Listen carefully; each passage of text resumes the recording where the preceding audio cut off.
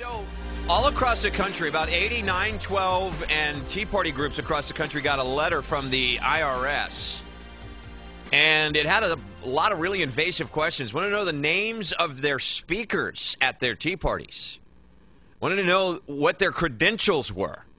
Wanted to know the names of family members of volunteers for Tea Parties and 912 groups wanted to know all kinds of really invasive information. Now, I don't know, maybe there's a tax lawyer out there that can answer the question. I don't know if they send this also to any other 501c4 organizations.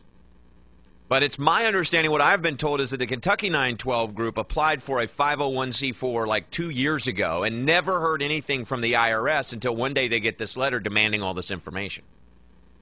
Is that intimidation? Sure sounds like it to me. Um, so let's go to the phone lines, and uh, we've got Thomas Massie, who is um, running for fourth district uh, U.S. Congress, and uh, joins me here now. Thomas, how are you, sir?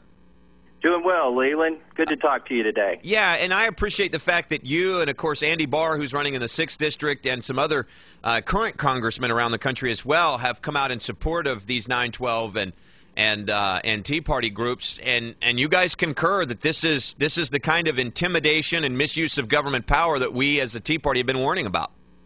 You know, when did we start keeping lists of people that speak at events? I'm on some of those lists. I've been to these 912 organizations. you and me both, brother. I'll tell you what. What's really uh, scares me is they waited for a year and a half, two years on this stuff, and then they came to Eric Wilson, the organizer of the 912 project in Kentucky, and told him he has three weeks to comply. Right. That... And I read the I've read the letter that the IRS sent him, and it, sent him, and it starts out with this very scary, uh, foreboding statement that says, you know, under the penalty of perjury, you will supply all of this information. Wow. Wow.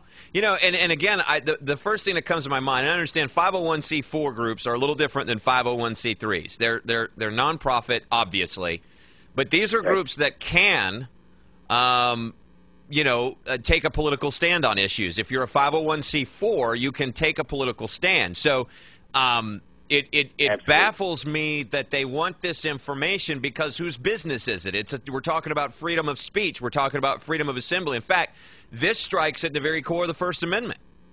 It certainly does. You know, if we let them keep this up, the only right that we're going to have is the right to remain silent. that's uh, yeah. no, I mean, it, you say that, but that's absolutely true. I mean, you know, I hope uh, people understand the impact of this.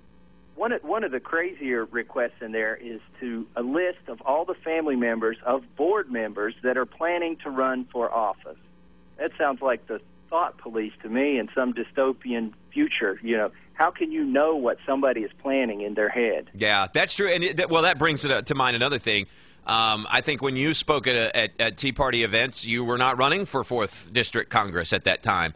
Um, Absolutely th- not. Yeah, I did. I had no idea that I'd be running for this position. I was just going out trying to convince other people to get involved publicly. Yeah, and there's a lot of people that, because of the Tea Party movement, and for that matter, um, you know, the, the the Occupy Wall Street movement, which is you know, ideologically we don't line up, but you know, now I haven't heard that they've gotten any letters like this, but you know, I wouldn't want them to because you know, whether no matter what the ideology is, uh, we as Americans have a right to assemble, and and you know people are often inspired by events like that to get involved in politics. There's no way to judge, you know, uh, especially two years later, what somebody might be thinking.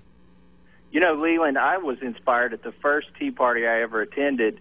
They opened a microphone up, and uh, I got up there and spoke, and was well received, and that kind of inspired me to run for judge executive in Lewis County. Wow! But yeah. you you touched on something too. The question is did Acorn, did MoveOn.org, did these other organizations get the same letter? Are have, are we being treated fairly across the board? Yeah, yeah. Or is the executive branch of the government using these laws as a bludgeon? Yeah. Well, when you think about from a from an informational standpoint, I can actually understand that if the IRS is going to be policing 501 or 504c3s, whatever, then I can right. understand needing to know. Okay, let's let's see what the the people that are involved in this organization, what is the goal of it, etc. But when you apply for that status two years ago, never hear another word until you get an under penalty of perjury letter. Right. Um, something is definitely amiss in that process. And you know what else the letter said, and I just read it. It said, if you don't get this done within 21 days, we start all over from the very beginning. We're going to you, you have to reapply. Wow, wow, Un- It, uh, unbelievable. They asked for copies of all training material, date and location at every event. One that I found particularly onerous was uh, a transcript of the speeches and videos of the speeches and audio recordings of the speeches Right. that were given at these events. yeah, and who has How those could- really? yeah, how could you gather all that up together in 21 days? Yeah, Uh, and, and and how how could you be expected if you're not told ahead of time if you have an event like this that these have to be records that are kept? Again, freedom of speech never implied that you know Benjamin Franklin had to have records of his uh, of his addresses that he made on courthouse squares. You know, it's it's patently anti-American. I, I agree.